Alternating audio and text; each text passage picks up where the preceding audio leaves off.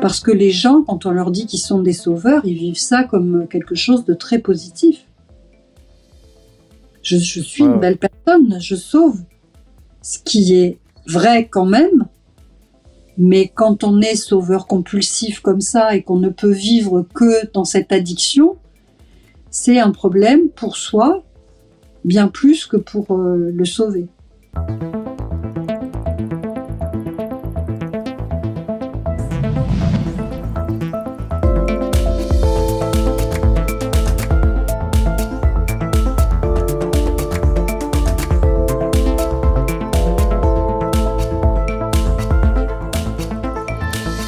Salut les curieuses, salut les curieux. Aujourd'hui, j'ai la chance d'avoir un nouveau rendez-vous avec Hélène Vecchiali, psychanalyste et autrice de nombreux ouvrages, dont Un zèbre sur le divan pour lequel elle nous avait déjà fait le plaisir de venir sur cette chaîne.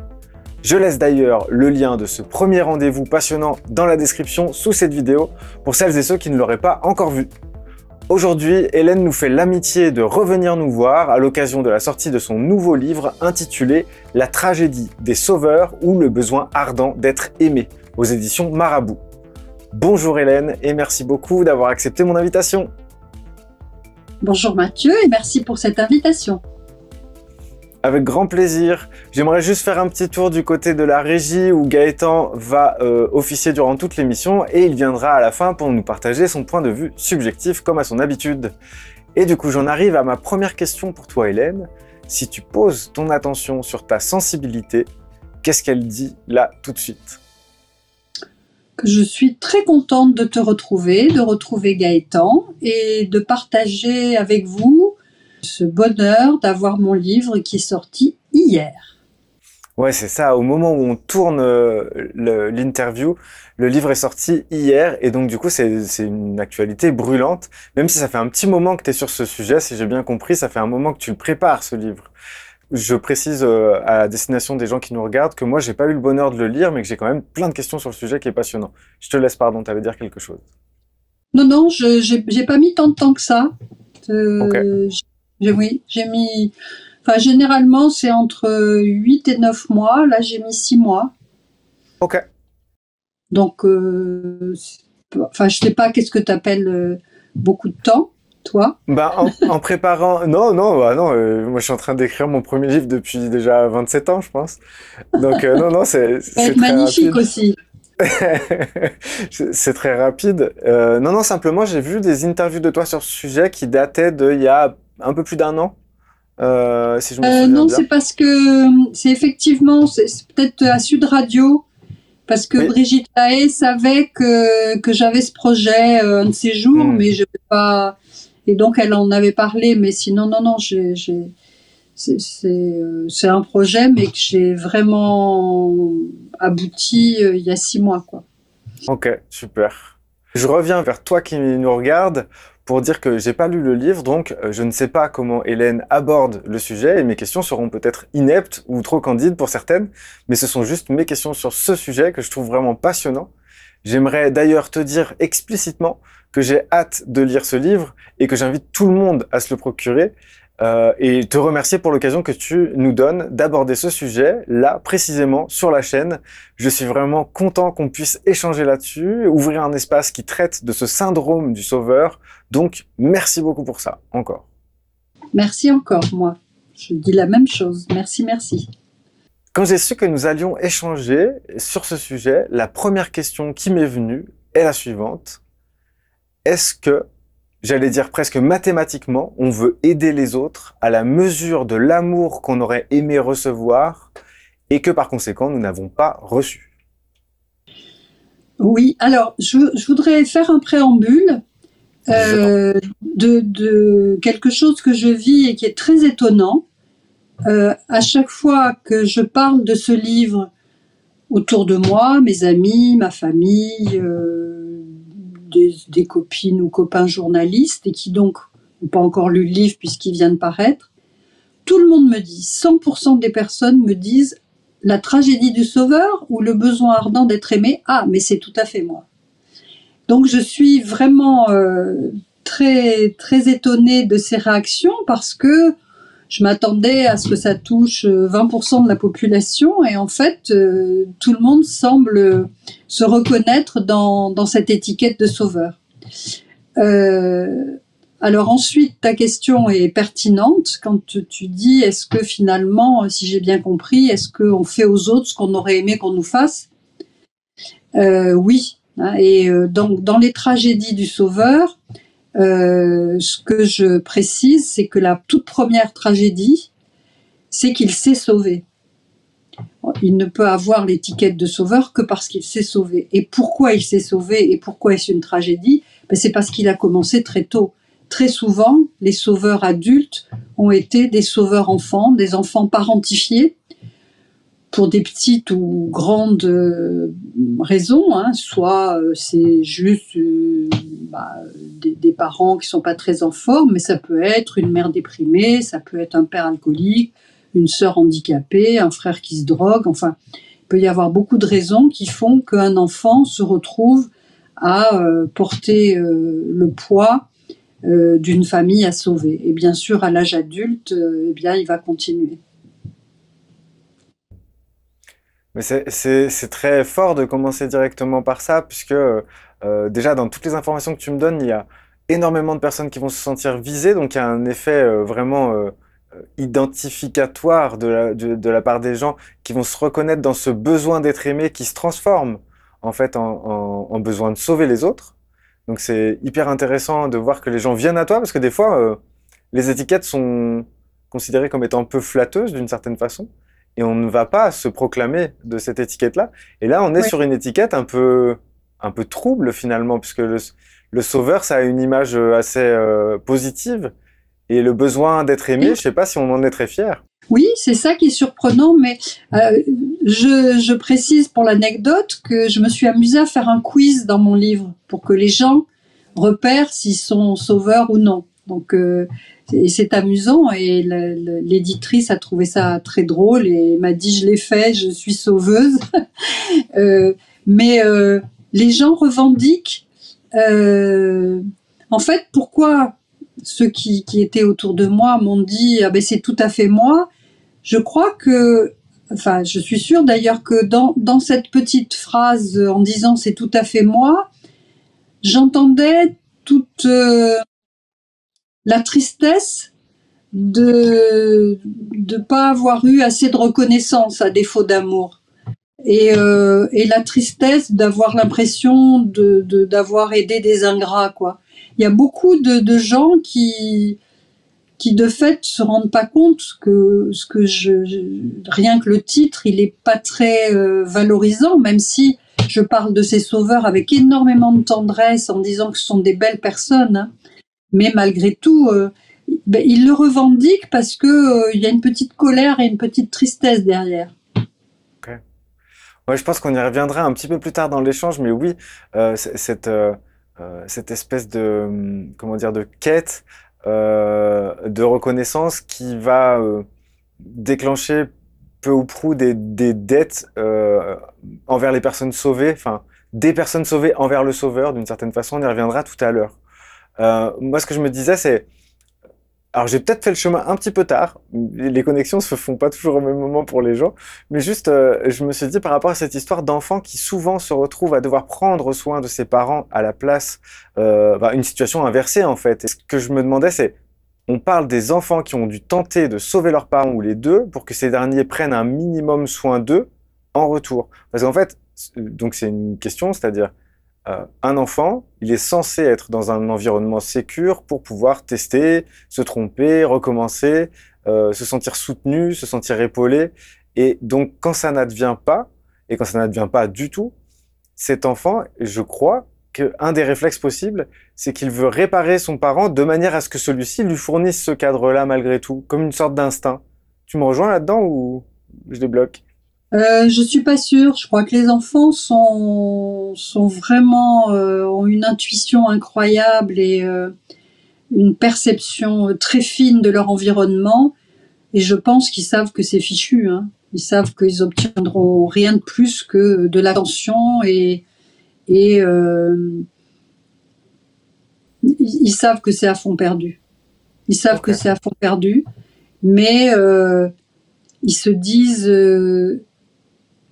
je vais exister.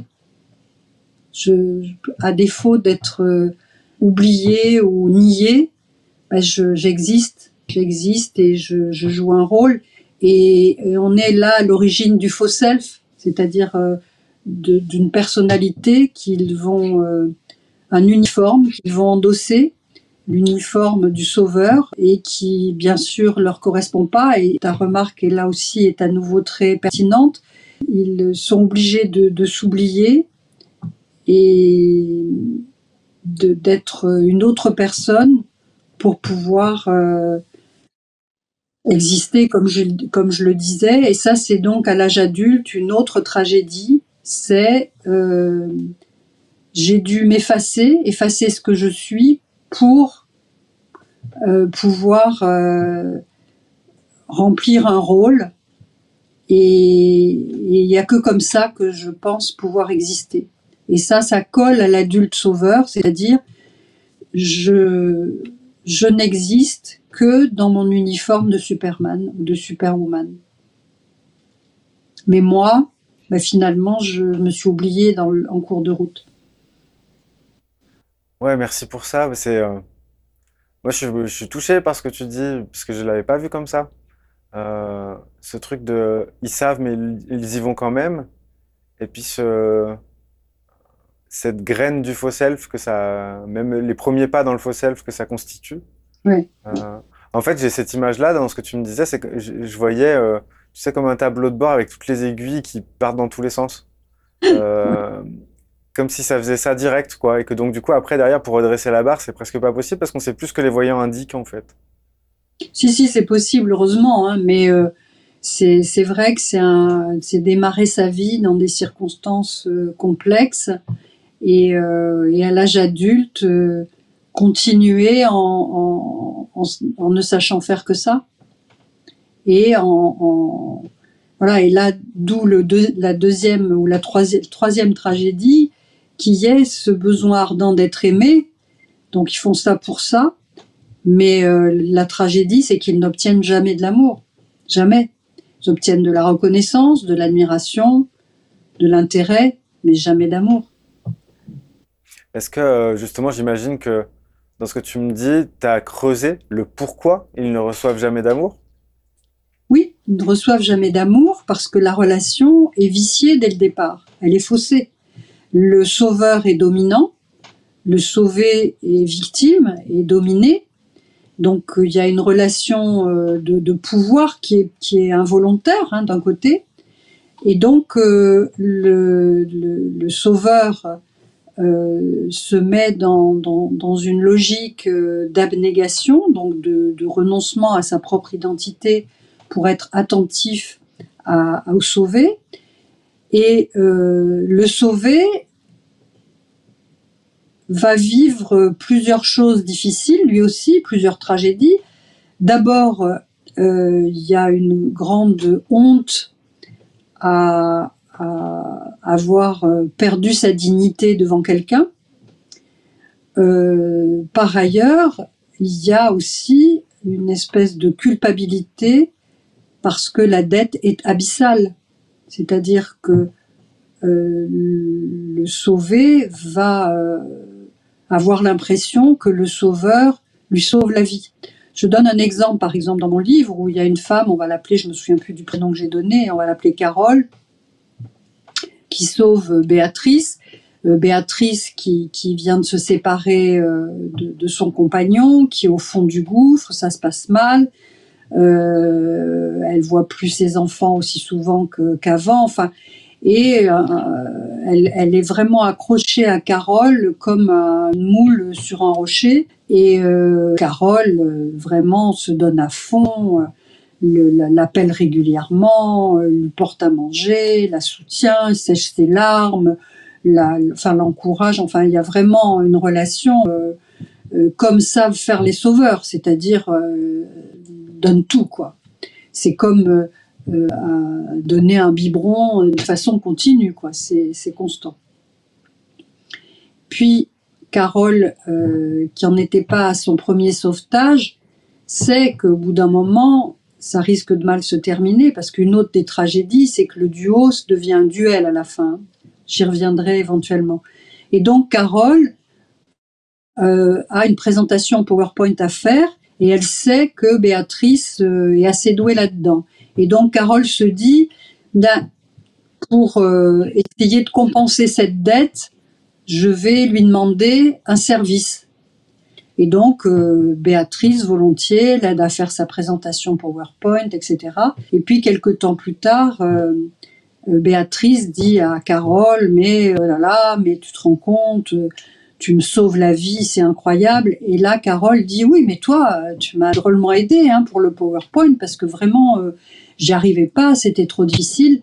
Et là, Béatrice lui dit, mais qu'est-ce que c'est que sauver un PowerPoint par rapport à sauver ma vie? Et là, elle signifie, mais c'est la dette, elle est tellement abyssale que je pourrais jamais te la rembourser.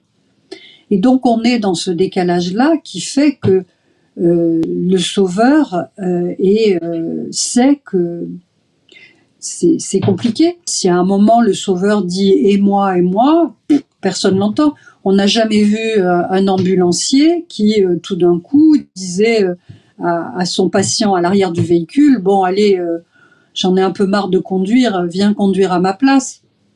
Les, c'est fini. la règle du jeu est posée, les rôles sont déterminés, on peut plus revenir en arrière. Ouais, donc euh, en fait, une, relation qui va commencer sous ces auspices-là euh, est, de ton point de vue, presque impossible à remettre sur des rails plus sains, d'une certaine façon. Oui.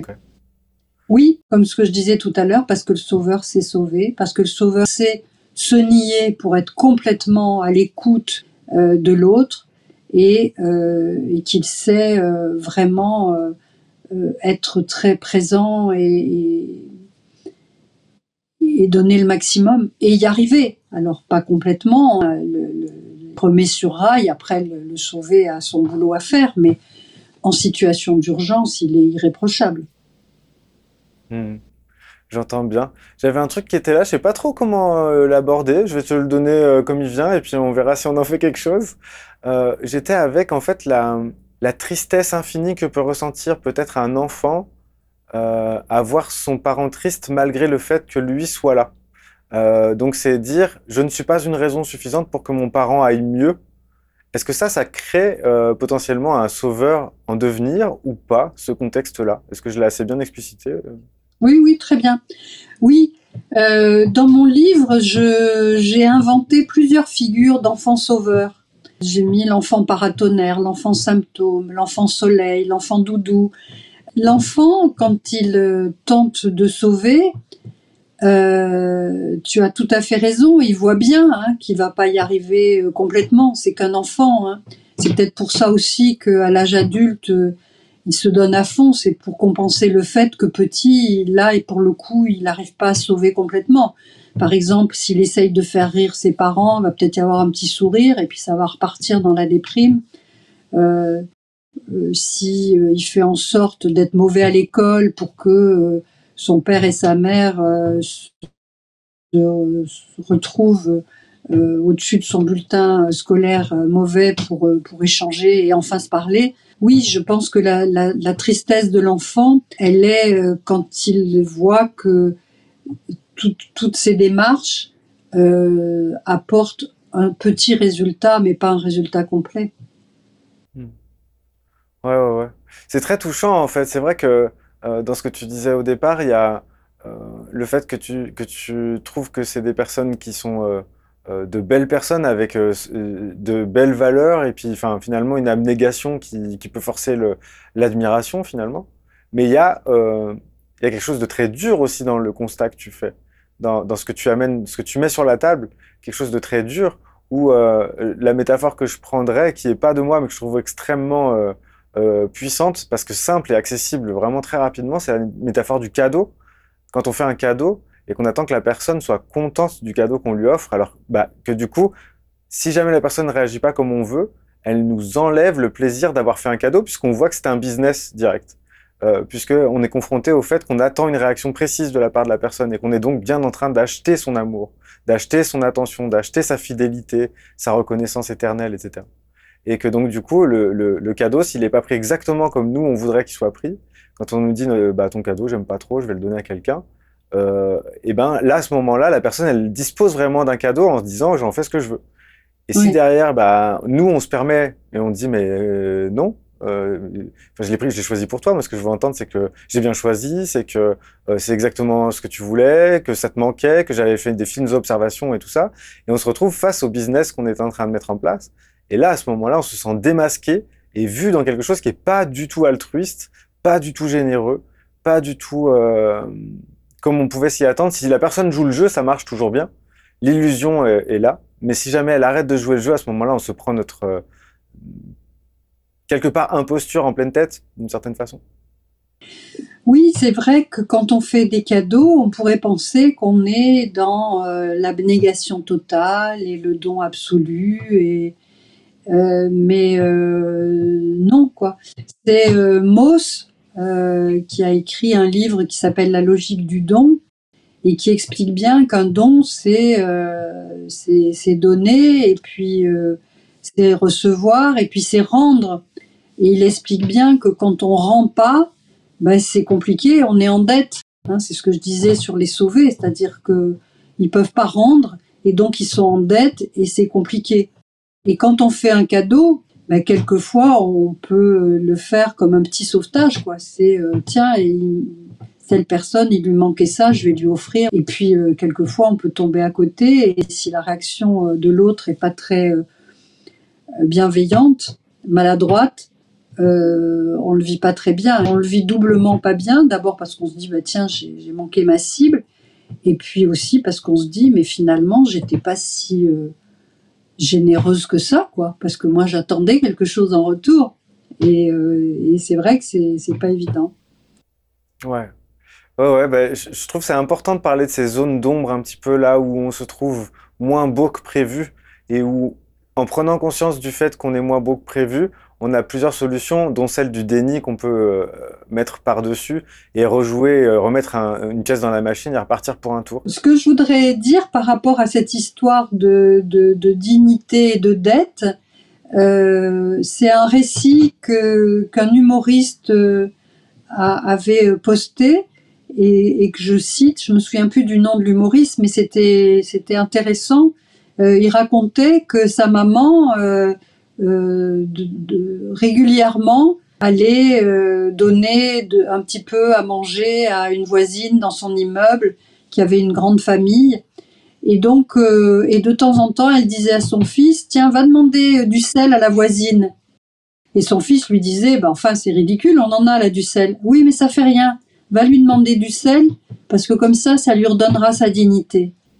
Une autre histoire africaine, où là, c'était un papa euh, qui la nuit disait à son fils voilà va porter euh, euh, ce bol de, manioc là. Va le poser devant devant la porte de telle maison la nuit et le fils disait bah pourquoi tu vas pas lui donner quand ils sont là? Il dit non non je veux qu'ils sachent pas qui leur a donné. Comme ça ça leur enlève pas leur dignité hmm. donc on voit qu'il y a vraiment quelque chose hein, dans, dans, dans ces dons et dans ces sauvetages qui, qui sont de l'ordre de, de, la dette, de la dignité. Enfin, il y a, tout ça qui se joue. Et c'est vrai que c'est bien plus lourd que ce qu'on imagine, quoi. Et, et c'est vrai que quand on parle de la tragédie du sauveur, on se dit, oh bah, il, sauve quand même, hein. Et on voit pas que derrière, il y a tout ça, quoi. Ouais. Et pourtant, ce que tu viens de me dire là, à travers ces deux exemples qui sont assez simples, c'est que finalement, c'est comme si la conscience populaire le savait déjà, ça. Oui. Euh, donc, euh, en fait, euh, tu, ton livre est basé aussi sur une conscience que certaines personnes peuvent avoir, certaines cultures peut-être peuvent avoir plus que d'autres. Oui. et peut-être que nous, on est un peu déracinés à ce niveau-là. Oui. Les cultures primitives, et c'est pour ça que je parle de, la logique du don de Mauss, M-A-U-2-S, parce qu'il parle beaucoup de ça dans les cultures primitives, dans, tous ces gens avec euh, euh, il faut absolument rendre quoi. Hein. Quand on nous a donné quelque chose, faut rendre parce que sinon euh, on, va, on va être en dette et, et, ça va être terrible. Donc il y a, cette logique-là qui est assez intéressante, la logique du don. Hmm. Ouais, merci. Sujet passionnant. Je suis déjà nourri. Donc, tout, à partir de, à partir de il y a déjà 10 minutes, c'est du bonus cette histoire. Euh, j'ai envie de te poser une question à laquelle tu n'es pas obligé de répondre, mais je suis obligé de te la poser, moi, tu vois. Je joue mon rôle et en même temps, je suis curieux et je suis là pour ça. Est-ce que tu as écrit ce livre parce que ce syndrome te concerne ou te concernait personnellement? Oui, donc j'avais bien anticipé euh, la pertinence de ta question. Oui, oui, la réponse est oui. J'ai écrit ça parce que j'ai été longtemps dans, dans, cette, dans ce, ce travers euh, ça fait un moment que c'est passé. Et, justement, tout d'un coup, je me suis dit, mais tiens, j'aimerais bien, euh, bien y revenir. Et il y a quelques exemples que je cite dans le livre. Hein, c'est constellé d'exemples pour rendre ça vivant et clair. Et il y a des exemples qui me sont personnels et, et en particulier euh, une personne euh, que j'avais vraiment sauvé, mais si c'était à refaire, je referais parce qu'elle allait vraiment mal et que voilà. Sauf que j'irai pas aussi loin que là où je suis allée. J'en parlerai tout à l'heure hein, du franchissement de la ligne rouge. Euh, et cette personne-là, un jour, je l'avais invitée à dîner et où elle allait beaucoup beaucoup mieux, un peu grâce à moi et beaucoup parce que je l'avais poussée à voir un psy et, et à faire ce travail personnel.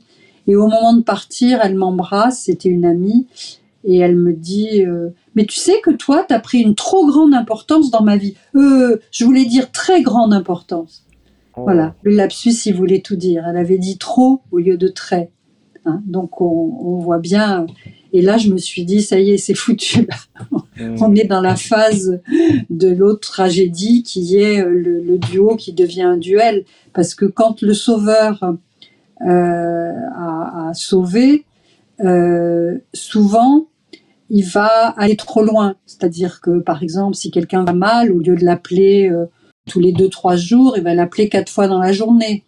Euh, et puis quand le sauvé va commencer à aller mieux, le sauveur souvent accélère ses dons parce qu'il sent que sa victime va lui échapper et sans aucun machiavélisme, sans aucune perversité, il se dit mais si j'ai plus mon uniforme, je suis plus rien. Donc comment faire pour garder le sauvé un petit peu sur la brèche et moi encore un peu de fonction pour euh, garder une identité? Et donc c'est à partir de là que ça, ça se transforme en, grosse difficulté pour tout le monde parce que dès que le sauvé va mieux, ben on voit bien que le sauveur euh, il a plus trop de, de nécessité. Et donc à partir de là, il peut y avoir euh, euh soit le sauvé qui, qui l'agresse, soit le sauveur qui, qui, essaye de maintenir euh, son sauvé dans, dans, son giron en disant non, reprends pas tout de suite le travail, ou non, te remets pas avec ton compagnon après tout ce qu'il t'a fait, ou non, enfin, qui, qui va essayer de maintenir euh, ce duo. Et puis l'un ou l'autre va craquer et se montrer un peu agressif, ou alors euh, va au contraire être euh, faire le mort et, et, plus donner de nouvelles et couper euh, quand même cette relation qui était allée trop loin. J'ai une question qui m'est venue dans l'oreillette de la part de Gaëtan et je peux pas m'empêcher de la poser aussi celle-ci. Est-ce que du coup ce livre il est écrit pour sauver les sauveurs? Ce livre est écrit pour sauver les sauveurs, bravo Gaëtan. Hmm. Oui, le livre, c'est j'ai voulu sauver les sauveurs. Ok. Comment c'est que ce soit vu? Pour toi? Comment c'est que ce soit vu par Gaëtan et que ce soit dit là, ça va? Ah oui, oui, oui. Ah non, c'est génial. super. Au contraire, c'est ce que je dis. Euh, je, je suis pas sûre de l'avoir écrit dans le livre, mais c'est ce que j'ai dit à mon attaché de presse. J'ai dit oui, surtout insister sur le fait que c'est mon projet, c'est de sauver les sauveurs. Et voilà, un clin d'œil euh, par rapport à, à, ça. Oui, oui, oui. Ok. Et j'ai entendu justement euh, dans, la, dans la réponse précédente que tu me donnais le mot de victime pour parler de, euh, du sauvé finalement, euh, qui est donc ben, un mot qu'on retrouve dans le triangle de Karpman euh, qu'on connaît si jamais on a deux trois notions en psychologie. Et ce qu'il y a, c'est que tu viens juste du coup d'amalgamer euh, deux deux mots, c'est-à-dire le sauvé et la victime pourraient être parfois les mêmes personnes. Et oui, est-ce que tu peux est-ce que tu, peux nous parler un peu de ça et puis du triangle? Qu'est-ce qu'il t'apporte, toi, dans ton travail par rapport à, ce thème-là? Alors, euh, je, cite le triangle de Cartman en trois lignes, parce qu'on ne peut pas parler des sauveurs et des sauvés sans parler du triangle de Cartman, mais mon livre n'a rien à voir avec ça, parce que mon livre, c'est un duo. C'est-à-dire, il n'y a pas euh, les trois... les trois personnages du triangle de Cartman dans ces jeux psychologiques où il y a le persécuteur, le sauvé, le sauveur et la victime. Il n'y a pas ça. Donc je suis obligée d'en parler parce que sinon on va croire que je suis passée à côté. Mais euh, là, c'est vraiment uniquement euh, ce qui se joue de façon euh, duel. et le, triangle de Cartman, c'est aussi souvent assez ponctuel, hein, en particulier dans le milieu professionnel. Donc c'était pas mon sujet. Donc j'en parle pas et je, parle plus de, de du psychisme du sauveur et, du sauvé pour euh, voilà. Et puis je précise que je dis euh, sauveur et non pas à chaque fois sauveuse et sauveur parce que sinon c'est trop compliqué et, trop difficile à lire. Mais bien évidemment, il y a autant de femmes que d'hommes. Euh, je fais un petit focus sur les femmes et sur les hauts potentiels intellectuels en disant qu'ils sont souvent happés par ce rôle, mais il y a aussi beaucoup d'hommes sauveurs. Hein, donc voilà, c'est sauveuse et sauveur. Ok. Bah, merci de faire cette euh, précision parce que moi, je peux la faire aussi. C'est-à-dire qu'en écrivant les questions, j'avais à cœur euh, d'être euh, inclusif et de dire à chaque fois. Et puis, j'ai renoncé pour les mêmes raisons que toi. Du coup, du coup, c'est bien, on se rejoint là-dessus aussi. Et puis, ça, n'empêche pas que oui, quand on parle, on parle de tout le monde et de toutes les personnes qui se sentent concernées. Et je me posais cette question-là euh, qui a toujours à voir avec le triangle. Après, je te laisse tranquille avec ça. Mais je, me, je me, demandais juste, est-ce qu'on peut devenir sauveur pour ne plus être victime et pour s'en assurer? Et, et, pour ne en fait, pour rester dans un angle, l'angle le plus euh, valorisant du triangle et, laisser tomber la possibilité d'être les deux autres. Non, parce que je, crois que c'est vraiment spontané et qu'on peut pas euh, se dire tiens aujourd'hui je vais être sauveur comme ça, ça sera mieux que victime et ça sera mieux que sauvé, je vais m'y mettre. Non, c'est des, personnages, euh, enfin des rôles qu'on adopte de façon spontanée et, et euh, qui, sont tellement habituels que d'ailleurs souvent, sauf à se questionner, on, on le fait spontanément, quoi. On n'y réfléchit pas. Ouais. Je voulais savoir si à ta connaissance, est-ce qu'on peut être un sauveur heureux et épanoui? Oui, je donne l'exemple dans mon dernier chapitre euh, Comment guérir, parce que à la fin je, donne des pistes. Euh, je donne un exemple très émouvant d'une de la maman d'un ami, Jeanne, je crois que je l'ai appelée, euh, qui a passé toute sa vie, du, premier jour de son mariage jusqu'à aujourd'hui, elle a 85 ans, a passé euh, toute sa vie à euh, faire venir chez elle, alors qu'ils avaient un fils unique et au début un très petit appartement. Donc elle a passé toute sa vie à recueillir sa vieille tante, son vieil oncle, son père, sa mère, etc. Enfin, la maison était sans arrêt pleine de gens qui allaient mal.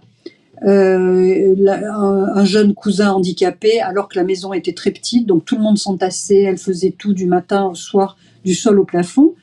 Euh, et puis ils ont fini par acheter une maison. Alors là, elle, a rempli, rempli encore plus, c'est-à-dire plus c'était grand, plus elle remplissait euh, de, personnes vraiment en grosse difficulté. Et puis euh, l'âge arrivant, bah, tout le monde est mort. Hein, son oncle, sa tante, son père, sa mère, le cousin, la cousine, enfin bref. Et elle s'est retrouvée toute seule. Et là, le fils, euh, Hervé, euh, lui se dit, ah, bah, fils adulte, hein, 45 ans, se dit, ah ben tiens, je, vais enfin pouvoir choyer ma mère. Et tiens, je, vais lui proposer de venir en vacances avec nous en Corse. Et donc il l'appelle, hein, parce qu'elle elle est dans le sud de la France, lui il est à Paris, il l'appelle et elle dit, ah non, je peux pas. Je peux pas, j'ai cinq chats à nourrir, je peux pas. Et là, elle lui explique, quand elle s'est retrouvée toute seule dans la maison, la première chose qu'elle a faite, ça a été de mettre une gamelle devant le portail avec plein de, croquettes. Et puis il y a les chats qui sont arrivés, elle a mis une autre gamelle, et puis petit à petit elle a rentré les gamelles, rentré les gamelles jusqu'à ce que ça soit chez elle. Et elle a pris comme ça cinq chats, et maintenant elle peut plus bouger parce qu'il y a qu'elle qui sait s'occuper des chats. Et donc euh, c'est mon introduction au chapitre Comment guérir. ma première remarque, c'est il faut vouloir. Il y a des gens qui sont sauveurs et c'est une identité dont ils veulent absolument pas se débarrasser jusqu'à la fin de leur jour. Alors, elle est, elle est bien comme ça. Elle reconnaît de temps en temps quand même que euh, tous les gens qu'elle a sauvés, ils n'ont pas toujours été très reconnaissants, hein, qu'il y en a bien qui étaient ingrats et qui disaient pas trop merci. Mais elle, c'est sa vie. Et là, à l'âge qu'elle a, euh, sur son uniforme, elle veut surtout pas euh, être défroquée et qu'on lui dise que c'est fini. Non, non. Et donc, elle a, elle a continué. maintenant, elle est sauveuse de chats. C'est super comme histoire, c'est très fort. En plus, ça me fait penser à quelqu'un que j'ai vu en séance hier pour la première fois et qui a 83 ans et qui est exactement là-dedans. C'est euh, d'une résonance totale pour moi. Alors, je, sais que tout le monde s'en fout, mais je je, je peux pas m'empêcher de je peux pas m'empêcher de le dire comme ça. C'est dehors, tu vois. je peux penser à autre chose. Euh, par contre, tout à fait, mais c'est intéressant parce que spontanément, on se dirait, euh, ben, euh, voilà, on va les aider, on va les sauver de force quand même ces sauveurs là. Sauf qu'il y en a qui veulent pas, hein. ils, sont bien comme ça, et puis bon, ils sont un peu euh, quelquefois en colère ou tristes parce qu'ils obtiennent pas ce qu'ils veulent, mais malgré tout, euh, ça leur convient, quoi. Donc faut les laisser tranquilles. Hein. Ouais. Bah du coup, ça, rejoint la question que j'avais écrite juste euh, après, qui est une variante un peu de, des deux, ouais, de, de ce qu'on vient d'évoquer. Mais je voulais parler avec toi de quelque chose, moi, qui me saute aux yeux régulièrement et que j'ai rarement entendu médiatiquement euh, aborder. En fait, nombreux sont les personnes qui aiment sauver, soutenir, aider les autres et qui ne supportent pas qu'on fasse la même chose pour elles. Est-ce que par hasard cet aspect donc est abordé dans ton livre? Tu viens d'y répondre. Et est-ce que tu veux bien nous donner ton éclairage sur ce phénomène? Parce qu'en fait, vraiment, des fois, c'est épidermique. Ces personnes-là, en fait, elles vont aider, aider, aider.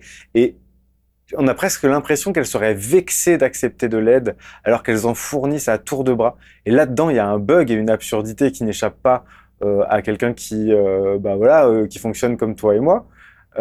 et, et, et, tu, j'ai jamais entendu personne l'aborder ce truc-là. Alors peut-être que j'écoute juste pas les bons trucs. Mais...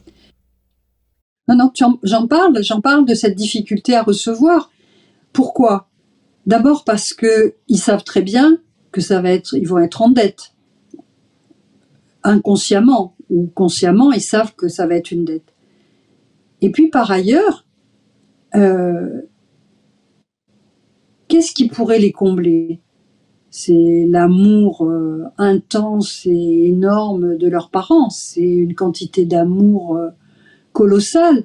Or, ils sont des puissants fonds. Donc, qui va pouvoir leur faire un don qui, va les satisfaire Personne.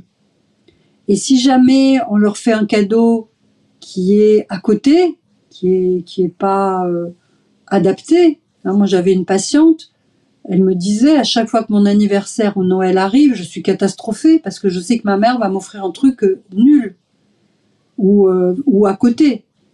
Et, et donc à chaque fois, je me prends un coup derrière la tête qui vient me rappeler combien ma mère se fiche complètement de moi, me connaît pas et, me fait des cadeaux inappropriés. Donc les sauveurs aiment pas les cadeaux. N'aiment pas du tout ça parce que ça les met en dette et parce que le cadeau n'est jamais suffisant.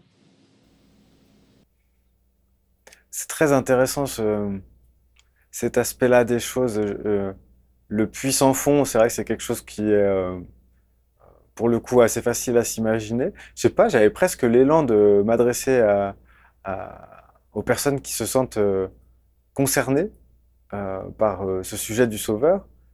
Et ouais, j'aurais presque envie de m'adresser en fait à, toi qui regarde la vidéo et de poser cette question. Si tu te sens concerné par cette étiquette-là, par cette appellation-là, est-ce que si tu te poses avec qu'est-ce qui pourrait me combler comment ce serait possible Est-ce que ce serait possible que quelqu'un me comble d'une certaine façon? Est-ce que euh, tu sens ce puissant fond s'ouvrir ou pas? Je trouve que c'est une, super question, même si elle est peut-être un petit peu vertigineuse.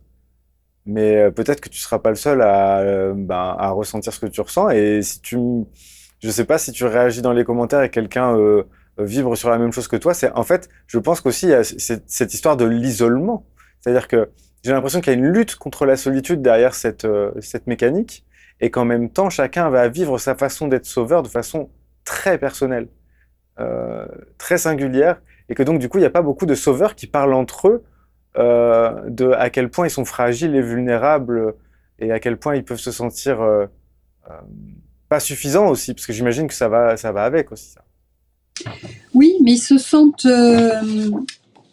sauf à se poser la question, ils se sentent pas vulnérables et ils, ont l'impression qu'ils sont très forts et, et, qu'ils sont solides. D'ailleurs, ils, sont peu souvent seuls parce que quand ils sont seuls, euh, l'angoisse ou la tristesse peut les rattraper. Donc ils sont souvent avec du monde, ils font beaucoup de choses, ils sont assez actifs. Donc euh, euh, c'est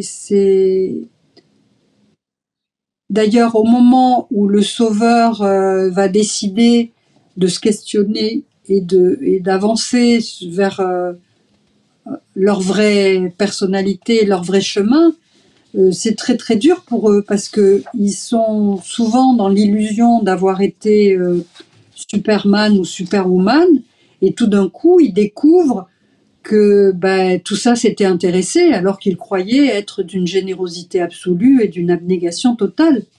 Donc là, il y a vraiment euh, une prise de conscience que tout ça était un mécanisme de défense par rapport à leur manque d'amour et à leur peur de ne pas être aimé et leur solitude et leur tristesse et euh, euh, la, volonté de guérir en eux le petit enfant blessé. Donc quand il y a cette prise de conscience-là, ils tombent du piédestal qu'ils s'étaient euh, eux-mêmes construit et c'est douloureux. C'est douloureux de se dire, bah, finalement, je ne suis pas une si belle personne que ça, alors qu'en fait, ce sont des belles personnes. Mais se rendre compte qu'on on était intéressé dans l'histoire, euh, c'est un peu compliqué.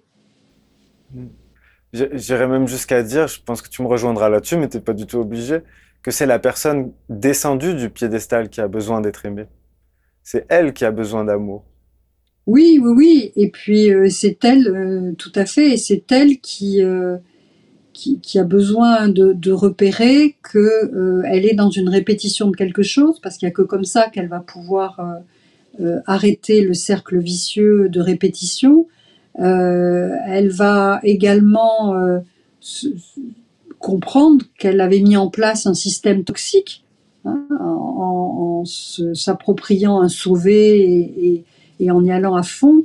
elle va se retrouver aussi avec un conflit de loyauté en se disant oui, mais si je guéris, alors je vais plus aider les autres, or je sais les aider. C'est quand même euh, bêta de, de de pas pouvoir faire ce que je sais faire.